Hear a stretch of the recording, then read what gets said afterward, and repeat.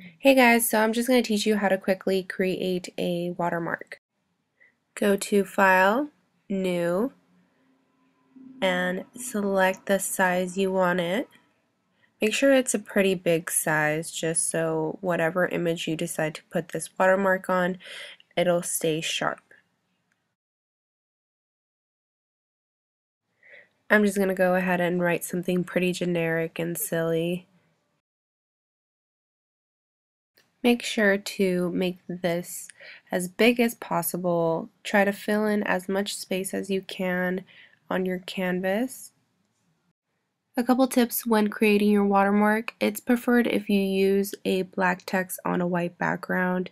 Make sure that your text is at 100% opacity and that you don't have it faded at all. Try to get your watermark as centered as possible as well. And flatten. Now go to Edit and click on Define Brush Preset. Name your brush whatever you feel like and once you have the good name down, go ahead and click OK.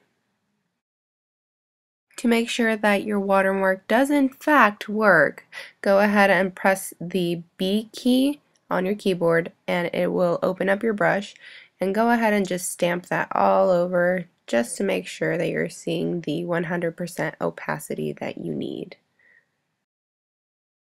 Go ahead and right click to double check that it did save into your brushes and that's about it. Thanks guys for watching. See you on the next one.